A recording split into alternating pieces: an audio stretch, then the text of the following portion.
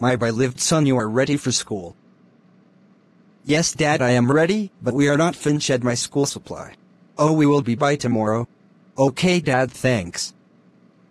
Very welcome my handsome boy. Oh my dad I love you.